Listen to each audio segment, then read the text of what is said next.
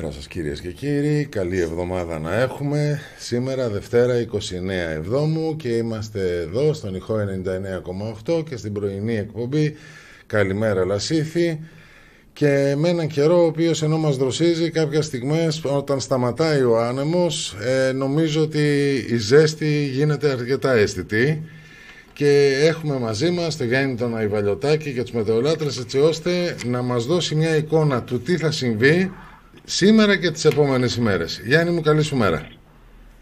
Καλημέρα, καλή εβδομάδα Βαγγέλη, καλή εβδομάδα στους ακροατές μας. Τι γίνεται, όχι καλά; Ε, το καλά είναι υποκειμενικό, δεν ε, το συζητάω. Ε, μου εξηγείς κάτι. Γιατί μέσα σε χρόνο σχεδόν τετέ, από εκεί που νιώθεις κάποια οποιαδήποτε δροσιά, ε, νιώθεις κάποια δροσιά εμπασχετώσει, ε, κάνει ένα, μια παύση ο αέρας και η ζέστη δείχνει ακόμα χειρότερη. Υπομονή γιατί θα το ξαναδείς αυτό, Βαγγέλη. Ε, να την κάνω την υπομονή, αλλά την υπομονή να την κάνω για να μπορέσει να, να, να έρθει κάποια στιγμή η δροσιά. Δηλαδή, υπομονή για την υπομονή, από ό,τι κατάλαβα. Έχουμε σε λίγες μέρες Αύγουστο, οπότε λίγο υπομονή. Αυτές οι αναλλαγές του καιρού και οι υγρασίες ε, είναι έτσι, φέρνουν όλο αυτό το, την αίσθηση, την παράξενη πάνω στο ανθρώπινο σώμα, όπου τη μια νιώθεις δροσιά και την άλλη μέρα πάβουν τα μελτεμάκια και ξαναζεστανόμαστε. Κάνεις ντους και δεν προλαβαίνεις να βγεις από το ντους και έχεις υδρώσει ήδη. Ακριβώς, ακριβώς. Ε, υπάρχουν αυτές οι εναλλαγές και δυστυχώς θα συνεχίσουν να υπάρχουν. Θα κάνει όμως τώρα μια μικρή παύση έτσι δροσιάς mm-hmm. μερικές μέρες, όχι πολλές και μετά θα ξαναπάμε πάλι στα 33-34 ε, μέχρι και τα μέσα του Αυγούστου. Α, για, κάπως έτσι, για, για, κάπως για, έτσι ναι. φαίνεται η κατάσταση. Ε, τα μελτέμια θα μας έρθουν ή θα μας την κάνουν τη χάρη να μην εμφανιστούν τόσο πολύ; Ε, μάλλον δεν θα εμφανιστούν και τόσο πολύ μέχρι και το μέσο α, του μήνα του καινούριου. Πάμε να τα δούμε λίγο αναλυτικά. Ναι, για να δούμε Ε, την εικόνα. Πάμε να δούμε λοιπόν από σήμερα Δευτέρα. Κλασικά ηλιοφάνεια, έθριος καιρός, η μέγιστη θα φτάσει περίπου στους 33, η ελάχιστη στους 24. Οι άνεμοι θα είναι βόρειοι, ίσως προς το μεσημεράκι έχουμε και κάποιες άπνιες, ίσως και μια μικρή μεταβολή σε νοτιάδες και βορειαδάκι πάλι. Η ένταση θα είναι χαμηλή έως μέτρια, γύρω στα 1-2 μποφόρ. Μμμ. Κατά τόπους ίσως έχουμε και κάποιες ε, ρηπές προς τα 3. Η Μάλιστα. υγρασία από 50 έως 65%. Μάλιστα. Ε, να πούμε ότι σήμερα, μετά τις 2 η ώρα, το μεσημεράκι δηλαδή, αυτό που έλεγες Βαγγέλη, ενώ δεν θα έχουμε μεγάλη θερμοκρασία, η αίσθηση πάνω μας θα είναι γύρω στους 38 με 39 βαθμούς Κελσίου. Κοίταξε, είχες πει, θυμάμαι στην προηγούμενη Πέμπτη ότι η αίσθηση θα ήταν περίπου 36-37, τώρα πήγαμε στους 38-39. Μμ. Το ευχάριστο είναι ότι είναι μόνο για τη Δευτέρα αυτό, Βαγγέλη. Να Ε. σε κάνω να χαρείς λίγο, μου είναι μόνο για I σήμερα. don't like Mondays. το έχουν κάνει και τραγούδι. Ε, πάμε στην Τρίτη, 30 του μήνα. Μμμ. Ηλιοφάνεια, η μέγιστη σταθερά στους 30 της, η ελάχιστη στους 26. Οι άνεμοι θα είναι από βόρειες διευθύνσεις, λίγο ενισχυμένη αρχινάει το, ε, το μελτεμάκι και ενισχύεται σιγά σιγά. Ε, ιδιαίτερα από το μεσημέρι απόγευμα και μετά η έντασή του θα είναι 1 με 3 ε, με ρηπές κατά τόπους ίσως 4-5 σε κάποιες ε, περιοχές ε, πράγμα που έτσι μας δίνει το προμήνυμα ότι θα αρχίσει να φορτώσει ε, για την επόμενη μέρα. Μμμ. Η υγρασία 35 με 55%. Ε, και με το αεράκι και το μελτέμι η αίσθηση στο σώμα μας έρχονται σιγά σιγά σε φυσιολογικά επίπεδα. Ε, πάμε στην Τετάρτη, εξίσου έθριο καιρός, αρκετή ηλιοφάνεια, ε, ενίσχυση του μελτεμιού κι άλλο, η θερμοκρασία η μέγιστη στους 31, βλέπουμε τώρα ότι έχει πέσει κατά 2 βαθμούς απευθείας. Ναι. η ελάχιστη στους 26 καλά κρατεί, η άνεμη βόρειοι ενισχυμένοι αρκετά με την έντασή τους να φτάνει από 3 έως και 5 μποφόρ κατά τόπους ίσως και 6-7 Α, 6-7 κατά τόπους. Ναι, ναι ε, θα έχουμε την Τετάρτη αρκετό αέρα από ό,τι φαίνεται ε, η υγρασία θα πέσει στους 35 έως 55% Πάμε για μια γρήγορη ματιά στην Πέμπτη ε, ηλιοφάνεια, γενικά μια δροσερή ημέρα σχετικά η Πέμπτη. Ο Αύγουστος μπαίνει με 30 βαθμούς Κελσίου η μέγιστη και 25 η ελάχιστη. Αυτή η μέρα θα της χαρίσει την πρωτομηνιά μου φαίνεται Βαγγέλη. Ε, νομίζω ότι... ναι, και θα έχουμε και την επαφή εκείνη την ημέρα πάλι, γιατί είναι το ραντεβού μας την Πέμπτη. Ακριβώς, ε, ναι, πάντως το σίγουρο είναι ότι εμφανίζεται έτσι μια δροσερή μέρα με τις θερμοκρασίες αυτές. Ακριβώς. Η άνεμη θα είναι έτσι λίγο νοτιαδάκι αρχικά, αλλά αμέσως μετά γυρνάει ε, βοριάς ε, σε ένταση περίπου 1 έως 3 μποφόρ, με ρηπές κατά τόπους ίσως και κοντά προς το 4. Η υγρασία 40 με 60%. Πάμε και μακροπρόθεσμα να δούμε μια γρήγορη τι γίνεται, τι φαίνεται μέχρι τα μέσα του μήνα. Φαίνεται λοιπόν να το πω έτσι μια κοιλιά στην πτώση της θερμοκρασίας έως και το ερχόμενο Σάββατο 3 Ογδόου. Μετά από Κυριακή ε, βλέπουμε να κλειδώνει εκεί για τουλάχιστον 10 μέρες σε πιο λίγο υψηλά επίπεδα με τη μέγιστη να φτάνει τους 33 και τους 34 βαθμούς Κελσίου κάποιες μέρες και 27 με 28 η ελάχιστη. Οι άνεμοι από την πρώτη του μήνα φαίνεται να εξασθενούν και από 2 Ογδόου έως και τα μέσα του Αυγούστου περίπου, μέχρι τις 14 του μήνα, 15 περίπου, δεν φαίνεται κάποια αξιόλογη ενίσχυσή τους. Μάλιστα. Ε, όλο το προαναφερθέν διάστημα η έντασή τους δεν θα ξεπεράσει τα 1-2 μποφόρ με κάποιες ρηπές ίσως προς τα 3, αλλά και αρκετές άπνιες, Βαγγέλη. Α, και πολλές άπνες. Ε, συνήθως θα είναι βορειαδάκι, έτσι, αν υποθέσουμε. Ναι, ναι, έχει και βορειαδάκι, έχει και νοτιαδάκι.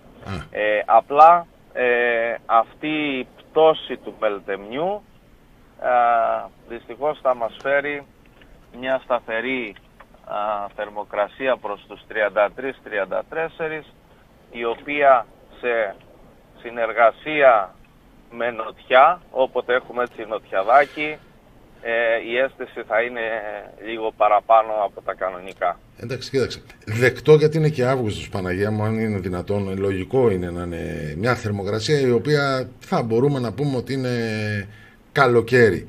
Ε, αυτά τα οποία ακούγονται περί βαρύ μόνο από κάποιους ε, ε, μπορούμε να πούμε ότι στέκουν σε έστω σε ποσοστό 1% κοντά στην πραγματικότητα ή απλά είναι λίγο βλέπω τη γυάλινη σφαίρα; Κοιτάξτε, Βαγγέλη, κάποιες προβλέψεις που γίνονται έτσι πολύ μακροπρόθεσμα, ε, εγώ θα το πω έτσι απλά είναι ζαριές για κάποιους, ε, οι οποίοι ρισκάρουν. Ε, συνήθως ε, και πιο παλιά, όταν είχαμε αρκετά ζεστό καλοκαίρι, ε, είχαμε και μετά βαρύ Α, και με, το, το με τη λογική αυτή.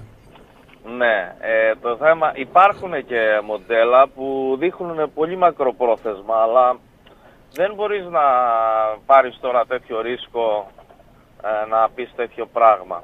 Γιατί ο, ο, κύριο, ο κύριος λόγος που οι περισσότεροι δεν παίρνουν ρίσκο, υπάρχουν και κάποιοι που το κάνουν βέβαια, ε, είναι ότι η, η κλιματική αλλαγή ε, έχει αλλάξει τόσο πολύ και τα, οι προβλέψεις είναι πολύ δύσκολες, δεν βγαίνει τίποτα.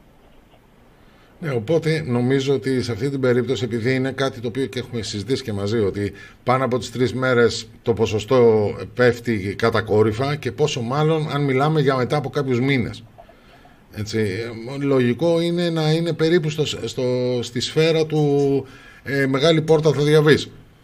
Έτσι ακριβώς και αν δεις και site ε, μετεωρολογικά τα οποία έχουν πάνω και ποσοστό προβλεψιμότητας ε, θα δεις ότι μετά τις τρεις μέρες, ε, τι να σου πω τώρα, λένε για 10%, 14% προβλεψιμότητα και στις τρεις μέρες λένε 70%, 80% κάπου εκεί. Μάλιστα. Ε, αλλά εντάξει, ε, έτσι όπως τα βλέπω εγώ μέχρι και, μέχρι και 15 μέρες ε, κάτι γίνεται. Μπορείς και βγάνεις άκρη. Από εκεί και μετά παίζεις μετά κοροναγράμματα, κατάλαβες; Ναι, ναι, μπορεί να είναι εντελώς αντίθετο από αυτό το οποίο ε, θα λεχθεί εν πάση ή θα προβλεφτεί εντός εισαγωγικών, κάτι το οποίο δεν είναι, είναι με πολύ επισφαλές.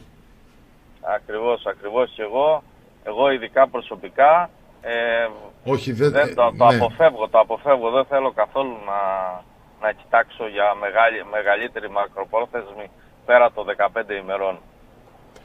Ναι, όχι το, ε, το, και το, ε, το τηρείς αυτό σε, με βλάβεια γιατί πραγματικά το να πεις μια πρόβλεψη, γενικότερα το αναφέρω, ε, μπορεί να δημιουργήσει ένα, μια επισκεψιμότητα ή, ή, ή πολλά ή, αλλά μπορεί και να είναι και το εντελώς αντίθετο από εκεί και πέρα.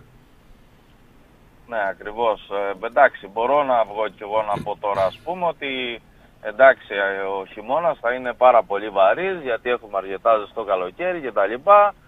Ε, και μετά, όταν έρθει η ώρα και δεν γίνει αυτό, θα πρέπει μετά να λέω κι εγώ, ξέρετε, έχει αλλαγή, κλιματική αλλαγή, το ένα και το άλλο. Εντάξει, μπορείς να το κάνεις, εγώ προσωπικά δεν το κάνω.